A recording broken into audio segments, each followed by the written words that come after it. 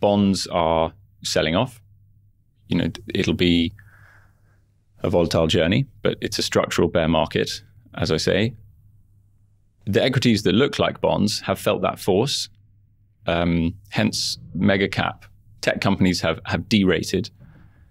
It's getting more expensive for them to do earnings buybacks. And the consistency of their revenues is now uh, a disadvantage rather than an advantage. The US, not, the US economy, uh, in nominal terms, was growing at 9% a year at the last measure. So a stock, you know, delivering GDP plus is suddenly delivering significantly higher revenue growth. And in an inflationary environment where they put through prices and they started with thin margins, their earnings growth is very significant. So we're seeing a significant rotation from growth to value that we think is likely to continue what does that mean for investors?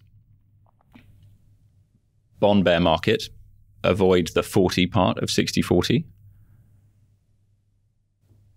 Interest rates sensitive stocks, as a result, most heavily affected. And they were the epicenter of the overvaluation in the first place. So in your 60, avoid the large cap tech companies. They're likely to be structural underperformers from here.